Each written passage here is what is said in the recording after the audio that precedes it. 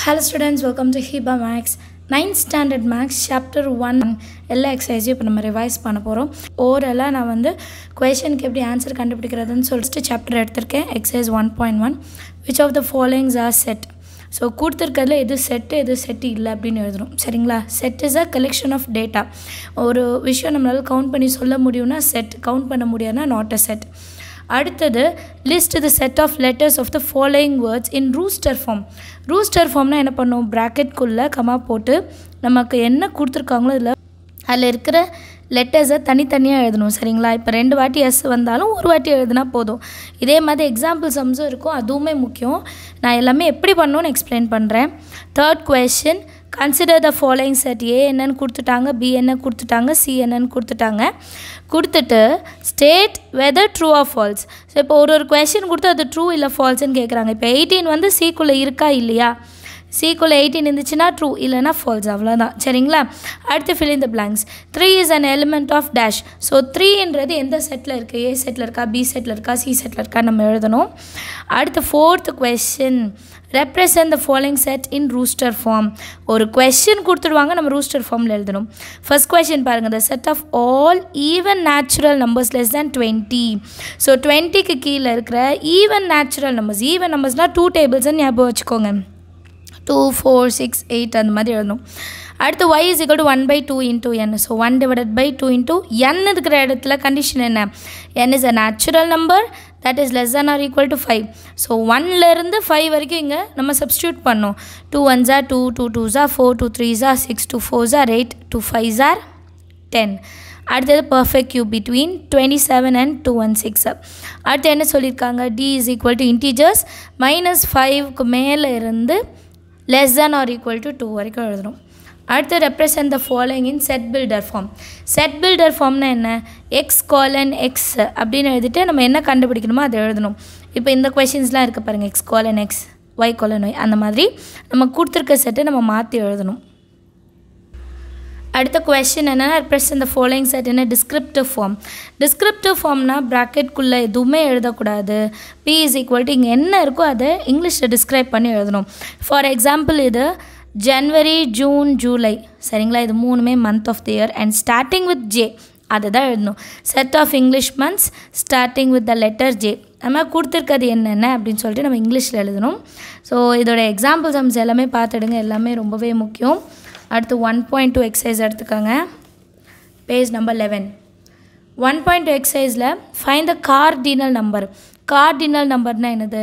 ஒரு செட் கொடுத்துருக்காங்கன்னா அந்த செட்டுக்குள்ளே எத்தனை டே எத்தனை எலிமெண்ட்ஸ் இருக்கோ அது வந்து cardinal number for example M செட்குள்ளே எத்தனை இருக்குது one two three four five six அப்போ கார்டினல் நம்பர் எப்படி ரெப்ரசன்ட் பண்ணுவோன்னா என் ஆஃப் சரிங்களா? என் ஆஃப்னு எழுதுவோம். N of M is six அடுத்து identify the set as infinite and finite ஃபைனைட்னா எப்படி இருக்கும்? கவுண்டபிள் இப்போ ஹண்ட்ரட் இருக்குன்னா ஹண்ட்ரட் இன்ஃபைனைட்னா எவ்வளோ வேணால் இருக்கலாம். அது நம்மளால் சொல்ல முடியாது. தேர்ட் கொஸ்டின் பார்க்கலாம். Which of the following sets are equivalent or unequal or equal ஈக்குவலண்ட்னா ரெண்டு செட்டோட கார்டினல் நம்பர் ஈக்குவலாக இருக்கணும். இப்போ இதுக்குள்ளேயும் ஃபோர் எலிமெண்ட்ஸ் இருந்தால் இந்த டி இதுக்குள்ளேயும் ஃபோர் எலிமெண்ட்ஸ் இருக்கணும். இருந்ததுன்னா அது ஈக்குவலண்ட் அன்இக்குவல்னால் இதில் ஃபோர் இருந்தால் இதில் த்ரீ இருக்கணும். அந்த மாதிரி வந்தால் ஈக்குவல் செட்னா இங்கே ஃபோர் இருந்தால் இங்கேயும் ஃபோர் இருக்கணும். அண்ட் அதே லெட்டர்ஸ் இருக்கணும். ஃபார் எக்ஸாம்பிள் எல்ஐஎஃப்இ இங்கேயும் பாருங்கள் எல்ஐஎஃப்இ நாலு எழுத்து நாலு எழுத்து அதே மாதிரி இருந்தால் ஈக்குவல் அடுத்து fourth question identify the following set is a null set or singleton set null செட்னா empty செட்டுன்னு அர்த்தம். ப்ராக்கெட்குள்ளே எதுவுமே இருக்கக்கூடாது. அப்போ ஜீரோ இருக்குது இந்த இந்த கொஷின் பாருங்கள் இது நல் செட்டா சிங்கிள் டென் செட்டா இது சிங்கிள் டென் செட் நல் செட்னா இந்த ஜீரோ கூட வரக்கூடாது. சிங்கிள் டென் செட்னா இந்த செட்டுக்குள்ளே ஒரே ஒரு எலிமெண்ட் இருந்தால் அது singleton set fifth question state which pair of sets are disjoint or overlapping டிஸ்ஜாயின்னா ரெண்டும் தனித்தனி இதுக்கும் இதுக்கும் சம்மந்தமே இல்லை. ஈஸியாக ஞாபகம் வச்சுக்கோன்னா இங்கே ஒன் டூ த்ரீ வந்துட்டு இங்கே ஏபிசிடி வந்தால் இது வேறு அது வேறு இல்லை இரு காமனாக எதுவுமே இருக்காது. ஓவர்லாப்பிங்னா ஒரு எலிமெண்ட்டாவது ஒன்றா இருக்கும். இங்கே ஏ ஏ இருக்கு இல்லையா? எஃப் எஃப் இருக்குது அந்த மாதிரி இருந்தால் அடுத்த சிக்ஸ்த்து கொஷின் நமக்கு வந்து எஸ்ன்னு ஒன்று கொடுத்துட்டு இந்த கொஷின்ஸ்க்கெல்லாம் இதில் நம்ம ஆன்சர் எடுத்து எழுதுகிற மாதிரி வரும். செவன்த் கொஷின் என்னென்னா ஏ செட் என்னென்னு கொடுத்துட்டாங்க. ஏ செட்டோட சப்செட்ஸ் எல்லாமே கேட்குறாங்க சரிங்களா? அண்டு எயித்து கொஷின் என்ன? ஏபிசிடி கொடுத்துட்டு பவர் செட் என்னன்னு கேட்குறாங்க சப்செட்டுக்கும் பவர் செட்டுக்கும் கொஞ்சம் தான் வித்தியாசம் இருக்குது நான் என்னன்னு இப்போ எக்ஸ்பிளைன் பண்ணுறேன் ninth question find the number of subset number of subset and number of proper subset subset என்னென்னு கேட்கல நம்பர் ஆஃப் தான் கேட்குறாங்க அப்புறம் tenth question N of A ஃபோர்னு கொடுத்துட்டு பி ஆஃப் என்னன்னு கேட்குறாங்க அடுத்த சப்டிவிஷனில் பி ஆஃப் கொடுத்துட்டு என் ஆஃப் கேட்குறாங்க சரிங்களா? இது வந்து ஃபஸ்ட் கொஷின் மாதிரி தான். இது எப்படி செய்யணும்னா நம்ம எக்ஸாம்பிள் ஒன் பாயிண்ட் நைன்டீன் பாருங்கள் இதில் வந்து என் ஆஃப் கொடுத்துருக்காங்க. என் ஆஃப் கொடுத்துட்டு என் ஆஃப் பி கேட்குறாங்க என் ஆஃப் பி எப்படி கண்டுபிடிக்கிறதுனா டூ பவரில் என் ஆஃப் எக்ஸ் என்னவோ அதை எழுதணும். இப்போ என் ஆஃப் எக்ஸ் சிக்ஸ்னா சப் நம்பர் ஆஃப் சப்செட் எப்படி பண்ணுன்னா டூ பவரில் எத்தனை எலிமெண்ட் இருக்குது இப்போ two power சிக்ஸ்னால் two into two into two into two into two into two so sixty four அடுத்தது N of P of X minus one அது வந்து ப்ராப்பர் சப்செட்டுக்கு அப்போ sixty four minus one sixty three சரிங்களா? இந்த formula தான் அதில் use பண்ணுவோம். அடுத்தது ஒன் பாயிண்ட் த்ரீ சரிங்களா? ஒன் பாயிண்ட் த்ரீல வென் டயக்ராம்ஸ் இருக்கும். இப்போ யூஸிங் த வென் டயக்ராம் நம்ம கொடுத்துருக்க ஒரு ஒரு கொஷனுக்கும் ஆன்சர் கண்டுபிடிக்கணும். ஏன்னா ஏ சர்க்கிளில் மட்டும் இருக்கிறத எழுதணும். பினா பி சர்க்கிள் வருது மட்டும் எழுதணும். ஏ யூனியன் பினா ரெண்டு சர்க்கிளில் இருக்கிறதையும் எழுதணும். A intersection Bina A circle and B circle intersect ஆகிறது. ஃபோர் அண்ட் செவன் மட்டும் எழுதணும். ஏ மைனஸ் பினா ஏலேருந்து மைனஸ் ஏலேருந்து பியை மைனஸ் பண்ணிட்டு எழுதணும். பி மைனஸ் ஏன்னா பிலேருந்து ஏ ஃபுல்லாத்தையும் மைனஸ் பண்ணிட்டு எழுதணும். ஏ டேஷ்னா ஏ சர்க்கிள் தவிர பேலன்ஸ் இருக்கிறது எல்லாத்தையும் எழுதணும்.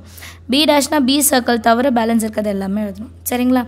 அடுத்தது யூனியன் இன்டர்செக்ஷன் டிஃப்ரென்ஸ் யூனியன்னா ரெண்டு செட்டில் இருக்கிறத சேர்த்து எழுதணும் அண்ட் டூ டைம்ஸ் ரிப்பீட் ஆகிறது ஒன் டைம் எழுந்தால் போதும்.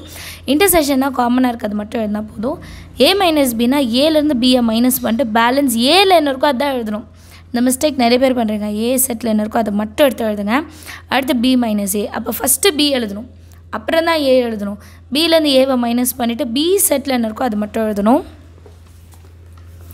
அண்ட் அதே மாதிரி தான் தேர்ட் ஃபோர்த் கொஷின் ஒரே மாதிரி டைப் ஆஃப் கொஷின் இங்கே ஏபிசிடி வந்தால் எங்கள் நம்பர்ஸ் வரும். ஏ டேஷ்னால் எப்படி எழுதுறது? யூலேருந்து ஏவை மைனஸ் பண்ணணும். இதெல்லாம் வந்து ஃபார்மில் மாதிரி எழுதி வச்சுக்கோங்க ஈஸியாக இருக்கும். இப்போ பாருங்கள் ஏ டேஷோட ஃபார்மில் என்னென்னா யூ மைனஸ் ஏ யூ செட்லேருந்து ஏ செட்டை மைனஸ் பண்ணும். பி டேஷ்னா யூ மைனஸ் பி அவ்வளோதான் இப்போ ஏ டேஷ் யூனியன் பி டேஷ்னா ஏ டேஷ் கண்டுபிடிச்சிரும் பி டேஷ் கண்டுபிடிச்சிரும் ரெண்டுத்தையும் யூனியன் பண்ணும். இன்டர்செக்ஷனாக கண்டுபிடிச்ச ரெண்டுத்துலேருந்து common A union B whole dash A union B whole டேஷ்னால் யூலேருந்து ஏ யூனியன் பி டோட்டலாக மைனஸ் பண்ணும். அதுக்கு முதல்ல நம்ம ஏ யூனியன் பி கண்டுபிடிக்கணும்.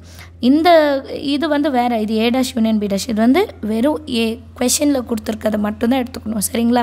ஏ டேஷ்னு இருக்கிறத ஏ காம்ப்ளிமெண்ட்ரின்னு கூட சொல்லலாம். நான் சொல்லித்தரதுக்காக அப்படி சொல்கிறேன் அண்ட் ஃபிஃப்த்து கொஷின் ரொம்ப முக்கியமான ஒரு கொஷின் சிமெட்ரிக் டிஃப்ரென்ஸ் சரிங்களா? இது வந்து நிறைய வாட்டி கேட்டிருக்காங்க. இப்போ பி கியூ வந்ததுன்னா பி சிமெட்ரிக் difference q இதுதான் formula P minus q union q minus P இது ரெண்டு தனித்தனியாக கண்டுபிடிச்சிட்டு லாஸ்ட்டாக யூனியன் பண்ணும். அதே மாதிரி செகண்ட் சப்டிவிஷனும் தேர்ட் சப்டிவிஷனும் அடுத்து வென்டயக்ராம் யூஸ் பண்ணி இந்த இதோடைய ஃபார்முலாஸ் என்ன அப்படின்னு எழுதணும். இது என்னது அப்படின்னு. இப்போது ஒய்லேருந்து எக்ஸை ஃபுல்லாத்தையும் மைனஸ் பண்ணியிருக்காங்க. இது இது எப்படி இருக்குன்னா எக்ஸு யூனியன் ஒய் அதோட காம்ப்ளிமெண்ட்ரி ஸோ அது இல்லாமல் பேலன்ஸ் இருக்கிறதெல்லாம் இருக்குது அந்த மாதிரி கண்டுபிடிக்கணும். அடுத்து A B two overlapping set and universal set U appropriate Venn diagram already நான் வீடியோ போட்டிருக்கேன். அதை பாருங்கள் அண்டர்ஸ்டாண்ட் ஆகும்.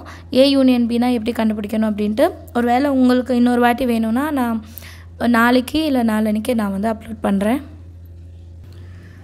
ஒன் பாயிண்ட் த்ரீ தெரிஞ்சிருச்சுன்னா ஒன் பாயிண்ட் ஃபோர் ரொம்பவே ஈஸி நமக்கு நாலு செட்டு கொடுத்துட்டு P union Q union R கேட்குறாங்க so first P union Q கண்டுபிடிச்சிட்டு அதுக்கப்புறம் யூனியன் ஆர் செய்யணும். சரிங்களா?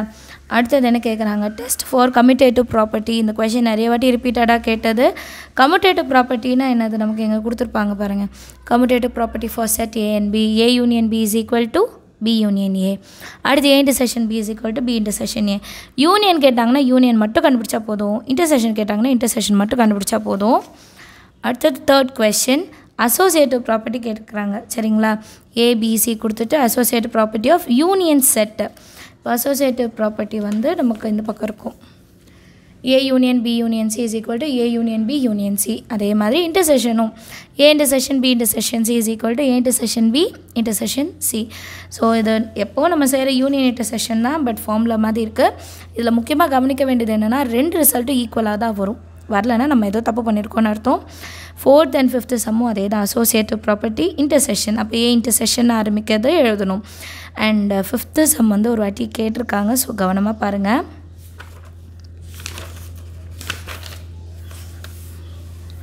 அடுத்தது one point five using adjust Venn diagram வச்சுட்டு ஏ மைனஸ் பி என்ன? பி மைனஸ் சி என்ன? ஒன் பாயிண்ட் த்ரீ எக்ஸசைஸில் பார்த்தோம்ல அதே மாதிரி தான் ஏ மைனஸ் பினா ஏ செட்லேருந்து பிஏ மைனஸ் பண்ணிட்டு ஏல என்ன இருக்கோ அதை ஃபுல்லாக எழுதணும்.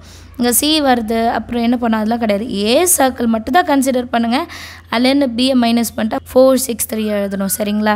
அண்டு அடுத்த கொஷின் நீங்கள் சால்வ் பண்ணலாம். கேஎல்எம் கொடுத்துட்டாங்க. இது கொடுத்துருக்கதை நம்ம கொஞ்சம் கொஞ்சமாக கண்டுபிடிச்சிடலாம். இப்போ இந்த மாதிரி கொடுத்தாங்கன்னா இது ரெண்டு ஃபஸ்ட்டு கண்டுபிடிச்சிட்டு அப்புறம் இன்டர்செஷனோ யூனியனோ செய்யணும் அதாவது டிஸ்ட்ரிபியூட்டிவ்லாவும் அப்புறம் கேட்குறாங்க பாருங்கள் வெரிஃபை டிஸ்ட்ரிபியூட்டிவ்லா இதுவும் ஒரு கொஷின் இருக்குது அடுத்த தேர்ட் கொஷனில் செட்டாக கொடுக்காம நமக்கு வந்து ஒரு செட் பில்டர் ஃபார்மில் கொடுத்துருக்காங்க இல்லையா? இதை நம்ம ரூஸ்டர் ஃபார்மில் மாற்றிடணும் இப்போ இசட் கொடுத்துட்டு மைனஸ் டூலேருந்து ஃபோர் வரைக்கும்ன்றாங்க. அப்போ மைனஸ் டூ எழுதக்கூடாது. எனக்கு கீழே லைன் இல்லை. Minus one zero one up to four எழுதணும். இது ஹோல் நம்பர் அப்போ ஜீரோலேருந்து ஃபைவ் வரைக்கும் எடுத்துக்கணும். ஏபி கண்டுபிடிச்ச பிறகு தான் அது சால்வ் பண்ண முடியும். நெக்ஸ்ட்டு வென் டயக்ராம்ஸ் கொடுத்துருக்கதை வென் டயக்ராம்ஸ் ஸோ ஷேட் பண்ணாலே நமக்கு ஆன்சர் கிடச்சிடும். நெக்ஸ்ட்டு வெரிஃபை தான். அடுத்தது வெரிஃபை அடுத்தது வெரிஃபை எல்லாமே இனி வெரிஃபை தான். அண்ட் இதுலேருந்து கண்டிப்பாக ஃபைவ் மார்க்ஸ் வரும். கவனமாக பார்க்கணும். அடுத்து நம்ம வந்து ஒன் பாயிண்ட் சிக்ஸ் பார்க்கலாம். ஒன் பாயிண்ட் சிக்ஸில் ஃபஸ்ட் கொஷின் பாருங்கள் N of N of B N of A union B N of B dash twenty five கொடுத்துட்டாங்க and N of A intersection B and N of N of U என்ன நம்ம கண்டுபிடிக்கணும்? Second கொஷனும் same இதுக்கான ஃபார்முலாஸ்லாம் நான் இப்போ சொல்லித்தரேன் அடுத்த கொஷின் யூ கொடுத்துட்டாங்க ஏபி கொடுத்துட்டாங்க. யூ நம்ம தான் ரூஸ்டர் ஃபார்மில் எழுதணும். அண்ட் அவங்களே ஃபார்முலா கொடுத்துட்டாங்க இது வெரிஃபை பண்ணணும். தேர்ட் கொஷின்லேயே ஃபார்முலா கொடுத்துட்டாங்க. இப்போ என் ஆஃப் எப்படி கண்டுபிடிப்போம்? Cardinal number one two three four five அப்போ என் ஆஃப் ஏவோட value five N of B N of C value அதே மாதிரி கண்டுபிடிச்சிடலாம். ஏ இன்டர்செஷன் பி முதல்ல கண்டுபிடிச்சிட்டு அதுக்கு என் ஆஃப் என்னன்னு கண்டுபிடிக்கணும். தென் சப்ஸ்டியூட் பண்ணும்போது நமக்கு ரெண்டு சைடும் ஒரே வேல்யூ வரும். அடுத்து ஃபோர்த்து கொஷின் ஃபோர்த்து கொஷின்லேருந்து நமக்கு ஃபுல்லாகவே ஃபைவ் மார்க் தான். பாயிண்ட் சிக்ஸ் வீடியோ வந்து நம்ம சேனலில் இருக்கும். நான் கம்யூனிட்டி டேப்பில் கூட இன்றைக்கி அதை ஷேர் பண்ணுறேன் ப்ளேலிஸ்ட்டாக ஷேர் பண்ணுறேன் ஸோ அதை யூஸ் பண்ணிக்கோங்க. இந்த எக்ஸசைஸ் வந்து ரொம்பவே முக்கியம். கவனமாக பார்த்துக்கோங்க. இந்த எக்ஸசைஸில் நம்ம யூஸ் பண்ணுற formulas A union B N of A union B is equal to n of a plus n of b minus n of a intersection b.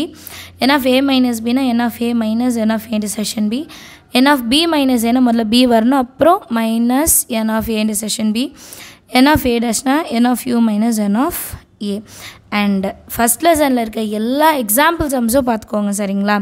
ஏன்னா எக்ஸாம்பிள் சம்ஸ்லேருந்து தான் நமக்கு நிறைய கேள்விகள் கேட்பாங்க. ஸோ அது கண்டிப்பாக நம்ம பார்த்துருக்கோம். ப்ராப்பர்ட்டிஸ் வந்து பேஜ் நம்பர் தேர்ட்டி எயிட்டில் கொடுத்துருப்பாங்க பாருங்கள் பாயிண்ட்ஸ் டு ரிமெம்பர் அதில் இருக்க எல்லா பாயிண்ட்ஸும் படிச்சுக்காங்க அதுலேருந்து ஒன் மார்க் வரும். அண்ட் ப்ராப்பர்ட்டி வந்து தெரியலனா இதில் பார்த்தே படிச்சுக்கலாம். கம்யூட்டேட்டிவ் ப்ராப்பர்ட்டி இருக்குது அதே மாதிரி associative property distributive property De Morgan's law of set difference De Morgan law of complementation cardinality of set so இந்த ஃபார்முலாஸ் தான் நம்ம ஃபஸ்ட் சாப்டரில் வந்து யூஸ் பண்ணுவோம் இல்லைங்களா? ஸோ இதில் முதல்ல படிச்சுட்டு கூட நீங்கள் சம் சால்வ் பண்ண பாருங்கள் ஏதாவது டவுட் இருந்தால் அந்த வீடியோ கீழே எழுதுங்க. எக்ஸாம் நல்லபடியாக அட்டன் பண்ணுங்கள் தேங்க்யூ ஸோ மச் ஃபார் வாட்சிங்